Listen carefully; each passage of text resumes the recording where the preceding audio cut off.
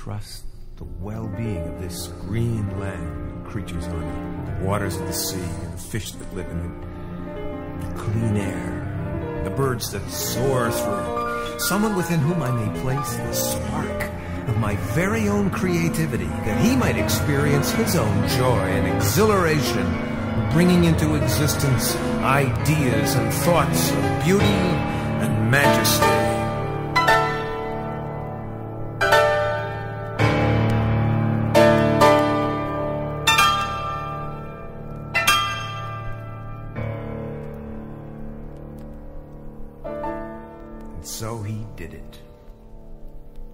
Created male and female. He created us. He gave us his blessing. Told us to be fruitful and increase in number and take control and be responsible over all things. And he said, Look, I've given you the seed bearing plants throughout the earth and all the fruit trees. This is your food, your nourishment. And I've given all the grass and the plants to the animals and birds for their food. So all of you, go to it. Live it up. And God looked over all that he had made, and it was excellent in every way.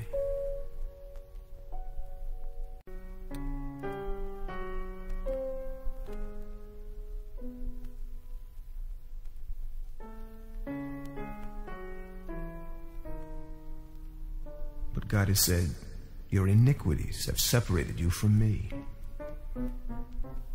Now I must hide my face from your sins. I can't listen to your empty prayers. Your lips have spoken lies. Your deeds have become evil deeds, and acts of violence are in your hands. Justice is far from you, and righteousness is nowhere near. You've lost your way of peace. Like the blind, you grope along the wall, feeling your way. Even at midday, you stumble like it was night. You've turned your backs on me.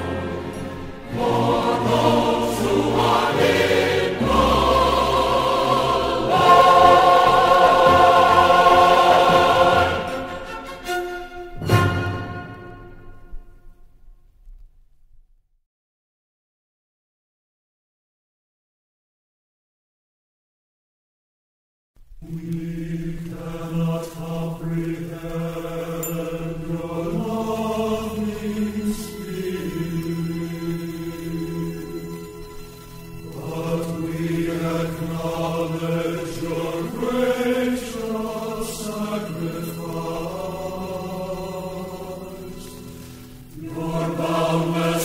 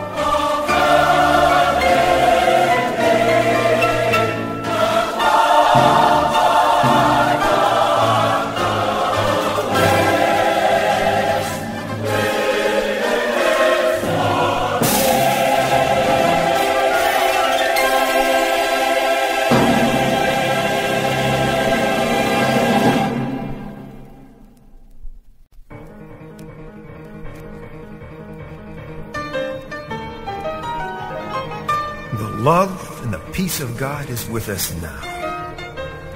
And there is nothing that can separate us from this love. Not tribulation, not distress, persecution, famine, nakedness, peril, or sword.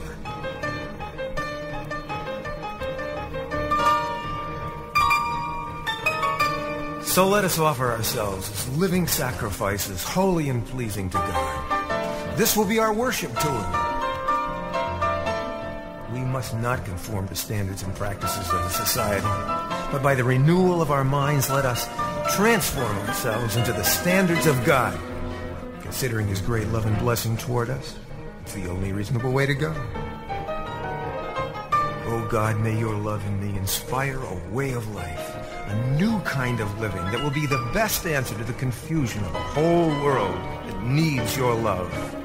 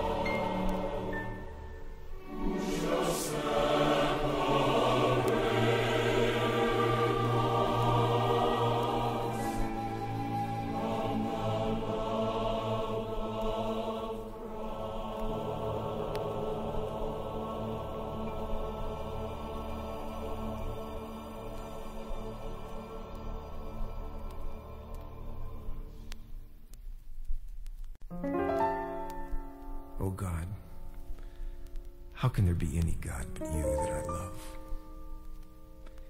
You surround me with your strength and you clothe me with your grace.